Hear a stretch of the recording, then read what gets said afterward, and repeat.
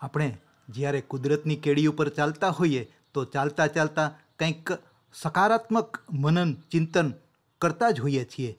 તો ચાલો આજે કંઈક એવી જ વાત કરીએ. ચાલો પૃથ્વી વિશે વાત કરીએ. આમ તો એ અવશ્ય એક જીવંત હસ્તી છે. તે એક બિલકુલ જુદી જ કક્ષાએ જીવંત હસ્તી છે. કુદરતમાં કશું જ નિષ્પ્રાણ નથી. આવા પ્રાણથી ધબકતા અને ઉર્જાપ્રધાન પ્રકૃતિના ઘટકોને નિરખવા જઈએ ચાલો આપણે પણ તેની સાથે ઊર્જા મેળવીએ અને થોડીક ઉષ્મા પણ મેળવીએ. આવી કુદરતની અડાબેડ કેળીમાં તસુએ તસુ ખીચોખીચ ભરેલા છે. એમાં જરાય જગ્યા નથી. આવા વિપુલ પ્રદેશમાંથી આપણે તો થોડીક અંથી આચમની જોઈએ છીએ. આચમની ભરવી છે. આ આચમનીમાં પણ એટલું બધું અમૃત ભરેલું હોય છે કે આપણે ધરાઈ જઈએ છીએ. કુદરતી સૌંદર્યના આ અખૂટ ખજાના વચ્ચે ચાલો આપણે કંઈક નવું જ નિરખીએ. નિરખવાની આ કલાને જરા સુદૃઢ બનાવીએ. કુદરતના આ ઘટકોને નજદીકથી, બારીકથી આલેખીએ. તેનું ચિંતન અને મનન કરીએ. આવો જઈએ કુદરતના નવનીતને માણવા. અને આ નવનીત તો ભર્યું છે ગીરના જંગલમાં, ગીરની કંદરાઓમાં. તો આજે આપણે ગીર વિશે થોડુંક જાણીએ અને તેના ચિત્રો માણીએ. ગીરની ઓળખ એટલે ગીરનો સાવજ. આ કેસરી ડાલા મથ્થાની આ વનરાજની છટા અને તેના દેદિત્યમાન દેખાવથી જ તો આ ગીરની ઓળખ છે.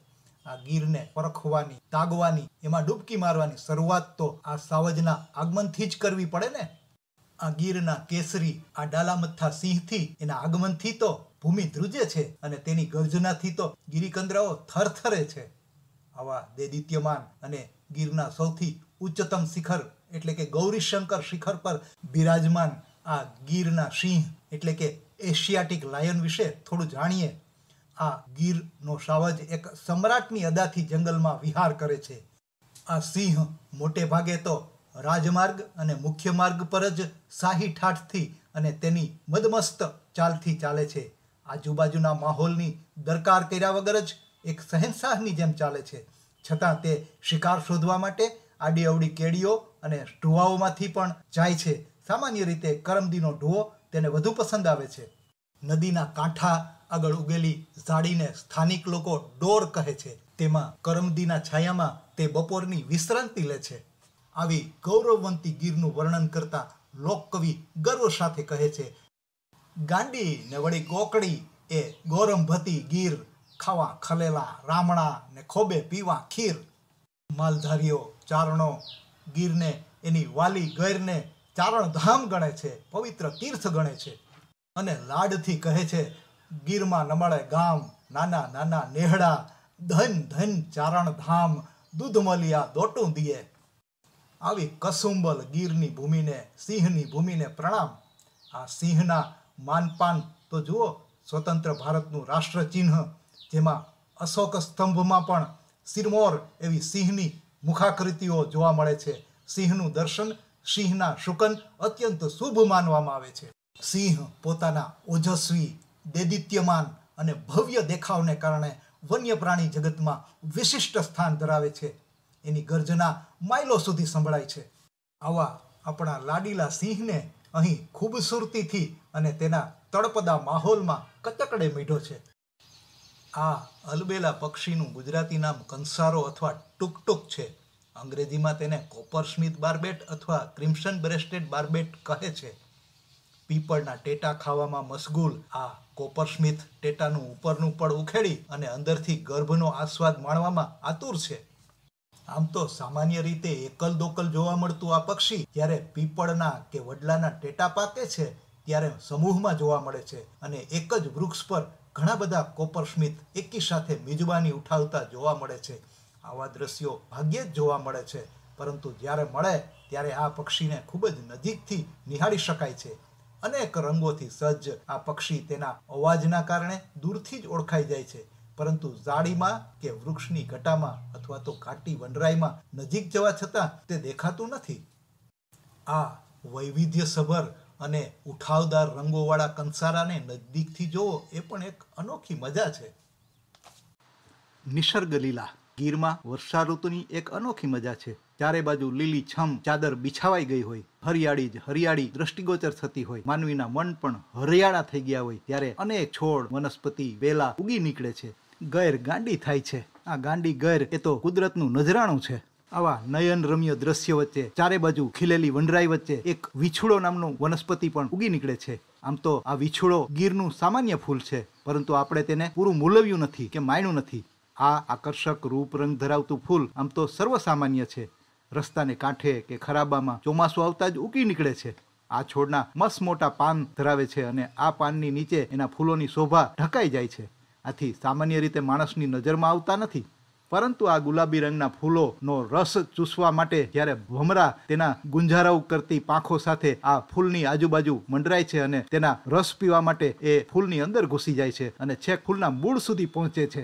તે દ્રશ્ય જોવા જેવું હોય છે અને ત્યારે જ લાગે છે કે કુદરતે આ નજરાણું આપણને દિલ ખોલીને આપ્યું છે. ચિત્રમાં દેખાતી આ હરણ ત્રિપુટીને અંગ્રેજીમાં સ્પોટેડ ડિયર કહે છે અને ગુજરાતીમાં તેને ચિત્તલ કહે છે. આ હરણની બે પ્રજાતિઓ છે. એક છે હરણ, જેને ડિયર કહેવામાં આવે છે. બીજી છે મૃગ, જેને એન્ટેલોપ કહેવામાં આવે છે. આ બંને પ્રજાતિની ઓળખ અલગ છે. કેવી રીતે અલગ છે? તો સમજીએ. એટલે કે હરણ પ્રજાતિમાં ડિયર પ્રજાતિમાં ફક્ત મેઇલને જ શિંગડા હોય છે. જ્યારે એન્ટેલપ એટલે કે મૃગની અંદર મેલ અને ફિમેલ બંનેને શિંગડા હોય છે.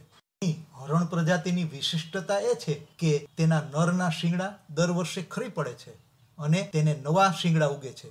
જ્યારે મૃગ પ્રજાતિની અંદર તેના શિંગડા કાયમી હોય છે. આ હરણોની કેટલીક વિશિષ્ટતા જોઈએ તેઓને આંખો માથાના છેવાડાના ભાગમાં હોવાથી ડિગ્રી ઓફ વિઝન વધી જાય છે. આ હરણોની સાંભળવાની શક્તિ ખૂબ જ હોય છે. તેઓ રાત્રે પણ સારી રીતે જોઈ શકે છે. દોડવાની ગતિ ચાલીસ માઇલ પ્રતિ કલાક જેવી હોય છે. આ હરણની માદા એક કે બે બચ્ચાને જન્મ આપે છે અને આ જન્મના એક કે બે કલાક બાદ બચ્ચું ચાલવા લાગે છે. કુદરતે તેને આવી વિશિષ્ટતા બક્ષી છે. તસવીરમાં દેખાતા આ પક્ષીનું ગુજરાતી નામ ચાસ છે. આ પક્ષી કબૂતર જેવડા કદનું છે અને અંગ્રેજીમાં તેને ઇન્ડિયન રોલર કહે છે. ઝાડની સૂકી આગળ પડતી ડાળી પર બેસીને આજુબાજુના પ્રદેશનું વિહંગાવલોકન કરે છે. તેનું માથું મોટું, શરીરે ભરાવદાર અને સ્વભાવે શાંત છે. તે મોટે ભાગે બ્રીડિંગ સિઝન દરમિયાન જ બોલે છે. આ જીવાત પક્ષી પક્ષી ખડમાકડી કે ઉંદરડીની જમીન પર જરા પણ હિલચાલ થાય કે તરત જ ડાળી પર બેઠેલા આ શાંત ચાસની ચકોર નજર ત્યાં પડે છે અને તરત જ પાંખો પસારી સીધો ઉડીને તેને જમીન પરથી ઝડપી લે છે. ચાસ સુકનવંતુ પક્ષી ગણાય છે. દશેરાના દિવસે તેના દર્શન કરવાનું મહાત્મ્ય છે. આ ઝાડ ઉપર બેઠો હોય ત્યારે પોતાનો રંગ વૈભવ સંકેલી લે છે. પરંતુ છતાં એનો ઠાઠ તો અનેરો હોય છે. આ પક્ષી ઉડતું હોય ત્યારે તેની રંગ ભભક જોતા જ રહી જઈએ છીએ. આ ચાસ પક્ષીની ખરી શોભા તો તે ઉડે ત્યારે જોવા મળે છે. સાવ સાદો દેખાતો આ ચાસ તે વખતે રંગ રંગીલો રંગનો ફુવારો બની જાય છે. ઘેરા વાદળી, આછા વાદળી, જાંબલી અને લીલછાયા રંગોના ઝબકારાથી તે આપણને સ્તબ્ધ બનાવી દે છે. ઘડીભર તાકીને જોતા જ રહી જઈએ છીએ. આવો આકર્ષક બની જાય છે. આ બધા રંગો તેની પાંખ અને પૂંછડીમાં છે અને તે ખુલે ત્યારે દેખાય છે. આવા મન ભાવન રંગોવાળું ચાસ એટલે કે ઇન્ડિયન રોલર એ ગીર અને ગિરનારની શોભા છે. કડાયાનું ફૂલ, ચિત્રમાં દેખાતું ફૂલ અને એના ફળો એ કડાયા નામના વૃક્ષના છે. આ કડાયો એ ગૌરવંતી ગીરનું ગૌરવ છે. ગીર અને ગિરનારના વિશિષ્ટ અને ધ્યાન ખેંચતા વૃક્ષોમાંનું એક કડાયો છે. આ વૃક્ષના થળ અને ડાળીઓનો રંગ અન્ય વૃક્ષ કરતાં સાવ જુદો જ હોવાથી તે તરત જ ધ્યાન ખેંચે છે. ગીરના સામાન્ય રીતે કાળા, કથ્થાઈ, ઘેરા પીળા પીળા રંગના વૃક્ષો વચ્ચે સફેદ રંગના થળ અને ડાળીઓવાળું આ વૃક્ષ તુરત જ ધ્યાન ખેંચે છે. આ સુંદર અને નજાકત ભર્યા વૃક્ષના ફૂલો પણ વિશિષ્ટ છે. અહીં ચિત્રમાં ઘેરા નીલરંગી આકાશના બેકગ્રાઉન્ડમાં આ ફૂલો સુંદર રીતે ઉપસી આવે છે. વિરુદ્ધ દિશામાંથી આવતા સૂર્યપ્રકાશને કારણે એકદમ ચમકતા લાગતા આ ફૂલો જાણે કોઈ સુંદર મજાની ડિઝાઇનનું નિરૂપણ કરે છે. આવી ચિત્રપૂર્ણી, આવી રંગપૂર્ણી કુદરતના ખજાનામાંથી મળ્યા જ કરે છે. આ કડાયાના ઝાડની છાલ શિયાળામાં ફાટે છે અને તેમાંથી પુષ્કળ ગુંદ નીકળે છે. આ ઝાડને આંબાની જેમ જ વસંત ઋતુમાં મોર આવી ફળો આવે છે. એ વખતે જૂના પાંદડા સર્વે ખરી પડે છે, ત્યારે આ વૃક્ષ દૂરથી એકદમ ઉઠાવદાર લાગે છે. એના વળાંકો સ્પષ્ટ દેખાતા હોવાથી આકર્ષક દ્રશ્ય રચે છે. આપણે આ પ્રકૃતિના પથ પર ચાલીએ ત્યારે વિચાર થાય છે કે આ વિશાળ પ્રકૃતિનું સંચાલન કેવી રીતે થતું હશે? આટલી અડાબીડ તસુએ તસુથી ભરેલી ધરતીની જરૂરિયાતોનું તો માપ નથી, છતાં દરેકને તેના ભાગનો સંતોષ મળતો જ રહે છે. કેવી રીતે મળતો હશે? આ પ્રશ્ન તો હંમેશા અનુત્તર જ રહ્યો છે. પણ આવા ખેડાણ કરીને આપણે કુદરતની કેડીએ ચાલતા ચાલતા તેની સાથે ઓતપ્રોત થઈ જઈએ. આપણે આ વિશાળકાય પૃથ્વી પરના અનેક પ્રાકૃતિક અચંબાઓને આપણી નજર સામે હોવા છતાં આપણે તેને સમજી શકતા નથી. એવું પણ બને કે આપણે બીજે ક્યાંક ગૂંચવાયેલા હોઈએ છીએ જેથી આપણી નજર અને ચિત્ત એટલા શાંત નથી બનતા કે આપણે પ્રકૃતિનું સાચા અર્થમાં રસપાન કરી શકીએ. પરંતુ આપણે તો આવા પ્રકૃતિના અચંબાઓને નિહાળતા જ રહીશું અને એની ગૂંચ ઉકેલવા પ્રયત્ન કરતા જ રહીશું. ફરી મળીશું આવી નવી જ રચનાઓને માણવા, જાણવા અને તેનું રસપાન કરવા. જય ભારત, જય હિન્દ.